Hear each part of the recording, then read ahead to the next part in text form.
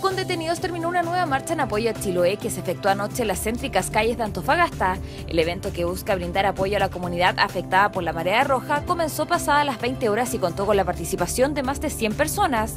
Durante la actividad se generó la detención de al menos 32 protestantes, cifra que será confirmada durante esta mañana por carabineros.